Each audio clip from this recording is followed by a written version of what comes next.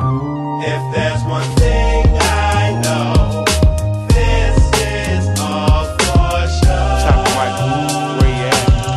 Yeah. Come and Go is a story about a man. About his only meaning in life was his possessions and how he idolized them. BC, OKC Connect. Big stress free living. Yeah. Time Alan Grant was living a life of lavish. I guess that's how it is. Things come and go. They scream and keep it real, but that's what only few do. They hear, then disappear magically like voodoo. Uh.